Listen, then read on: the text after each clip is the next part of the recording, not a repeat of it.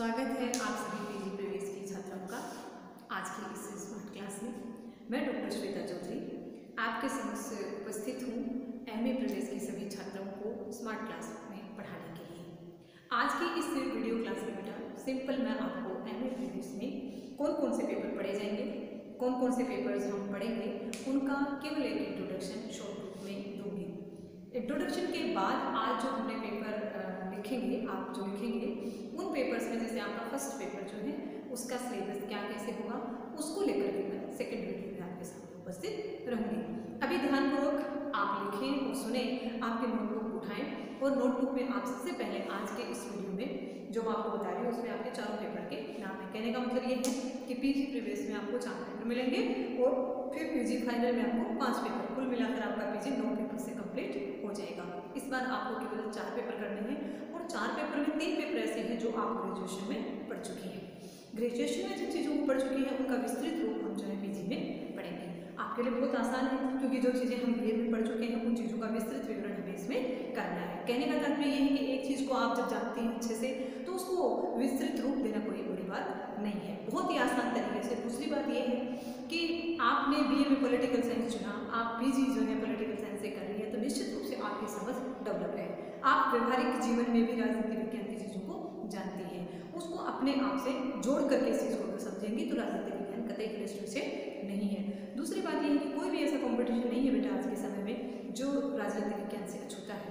संविधान से संबंधित तमाम बातें कॉम्पिटिशन हर एक कॉम्पिटिशन में पूछी जाती है। राष्ट्रपति, प्रधानमंत्री, राज्यपाल, मुख्यमंत्री, इन सबका निर्वाचन हमेशा हर एक कॉम्पिटिशन का अभिन्न भाग होता है। इसके अलावा इंटरनेशनल पॉलिटिक्स में पॉलिटिक्स में क्या हो रहा है देश दुनिया में कहाँ क्या कैसा चल रहा है ये सब चीज़ें हर एक कॉम्पिटिशन का पार्ट होती हैं मैं कोशिश करूँगी कि आपको पीजी प्रीवियस की तैयारी के साथ साथ आपको कॉम्पिटिशन से रूबरू कराती हूँ। उनमें कौन कौन सी मूलभूत बातें हैं जो आपके कॉम्पिटिशन के लिए महत्वपूर्ण हो सकती हैं? उन सब चीज़ों को भी मैं आपको इसके साथ बताने की चेष्टा करूँगी। इसके साथ ही जो वीडियो में हम लोग पढ़ेंगे, उसका हम जो है पी भी पढ़ेंगे, देखेंगे। पीडीएफ में आपको रोज आपके नोट्स का जो है वो भेजती रहूँगी। जो आपने मुझे वीडियो में सुना, आपने उसको समझा, वही आप पीडीएफ में लिखे, लिखा हुआ देखेंगे। दूसरी मेरी कोशिश ये भी रहेगी कि वीडियो में हमने इस बार थोड़ा किया है आप तो हमारे से हालाँकि जाने पहले वीडियो को रहा है। तो इसमें हम लोग क्या कर रहे हैं कि जैसे आप क्लास में हमारे सामने बैठे हो, आप पढ़ रहे हो, हमसे हमें सुन रहे हो और हम आपको उसी तरीके से पढ़ा रहे हैं, समझा रहे हैं और साथ में लिखवा दे रहे हैं। तो आप भी ये कोशिश कर सकती हैं कि मेरा वीडियो जब तक चले, बीस मिनट का हो बोले पच्चीस मिनट का, उस पच्चीस मिनट में आप अपने नोटबुक और पेन साथ में रखें। जो इंपॉर्टेंट चीज़ें मैं आपको बता रही हूँ, समझा रही हूँ, उसको साथ साथ में आपको लिखवा भी दूँगी। तो आपके नोट्स भी एक साथ बनते रहेंगे। कहने का तात्पर्य है कि बार बार किसी भी चीज़ को याद करने के लिए आपको वीडियो खोजना नहीं होगा। आप अपने नोट्स साथ साथ में बनाओ, बात को समझते चलो। तो बेटा आते हैं हम पॉइंट पर। आज केवल छोटे से इस वीडियो में केवल मैं आपको बताऊँगी आपके चार पेपर्स के नाम। सबसे पहला आपका जो पेपर होगा वो है पाश्चात्य राजनीतिक, राजनीति चिंतन। पाश्चात्य राजनीतिक चिंतन का मतलब वेस्टर्न थिंकर्स और वेस्टर्न थिंकर आपने बी ए फाइनल में पेपर पढ़ा है। बी ए फाइनल में आपने पढ़ा Plato to Plato Aristotle Aquinas रिकावली ये सभी चीज़ें। इसमें केवल चार या पाँच विद्वान ऐसे हैं जो आपके लिए नए हो सकते हैं। और उनके लिए महत्वपूर्ण बात मैं आपको ये बता दूँ कि आपने बी ए फाइनल में वेस्टर्न थिंकर्स जो प्रथम पेपर आपने पढ़ा था, जो बी ए फाइनल में जो लड़कियाँ मुझसे पढ़ चुकी हैं, उनको तो बहुत अच्छे से पता भी होगा, उनके पास नोट्स में बने हुए होंगे। सेम चीज़ें ऐसी की ऐसी हैं। बस उसमें आपको थोड़ा सा उत्तर देने का जो तरीका है वो बदलना है, जो आपको निश्चित रूप से समझाऊँगी, आपको बताऊँगी। इसमें कुछ पाँच चार ऐसे विद्वान हैं वेस्टर्न थिंकर्स हैं, जो आपके लिए नए होंगे।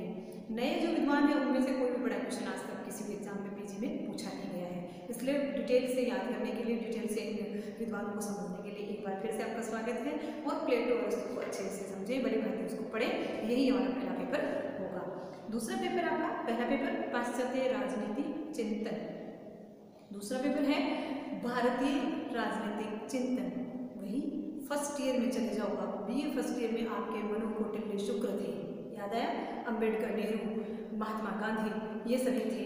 यही के यही विद्वान फिर आपको पढ़ने हैं। उनमें भी दो चार ऐसे विद्वान होंगे जो भारतीय राजनीतिक चिंतन, चिंतक ही हैं, लेकिन उनको भी इसमें पीजी में ऐड कर दिया गया है। तो कुछ विद्वानों को छोड़ करके कंप्लीट आप बी फ़र्स्ट ईयर का सेकंड पेपर जो मूल रूप से पढ़ेंगे। ये आपका यहाँ पे पीजी में क्या रहेगा? सेकंड पेपर रहेगा। तीसरा पेपर अंतर्राष्ट्रीय राजनीति। अभी लेटेस्ट आप पढ़कर आए कहने का तात्पर्य कि पीजी में चार पेपर हैं। चार पेपर में दो पेपर कौन से हैं? बी ए फाइनल के पेपर हैं। तो आपके लिए बहुत आसान होगा। आप अपने फ्रेंड्स को भी बता सकते हैं कि पीजी प्रीवियस में दो पेपर तो ऐसे कैसे जो आपने बी ए फाइनल में पढ़े थे, आपको एम में पढ़ने हैं। इसके बाद अंतर्राष्ट्रीय राजनीति।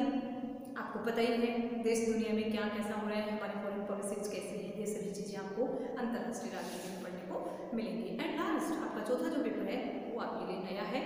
लेकिन मैटर जब आप उसमें देखेंगे तो बजट है, प्रधानमंत्री है, उसमें कंप्लीट चीज़ें, वही की वही हैं जो आपने इसमें पढ़ी थी पॉलिटिकल साइंस में पढ़ी थी।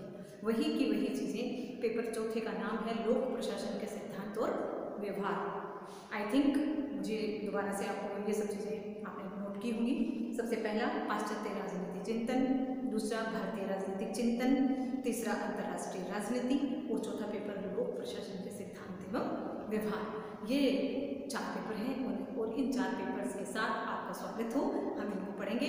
बहुत आराम से साथ साथ में अच्छे से नोट्स भी बनाते रहेंगे किसी भी प्रकार की कोई भी त्रुटि होगी तो आप मुझे फ़ोन कॉल्स के ज़रिए जो है अपने आप प्रॉब्लम को जो है शेयर कर सकते हैं।